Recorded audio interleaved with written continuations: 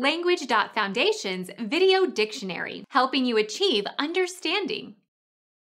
A benign epithelial tumor forming a rounded mass. Papillary tumor, papillary tumor, villoma. Become our student and get access to effective and free educational materials.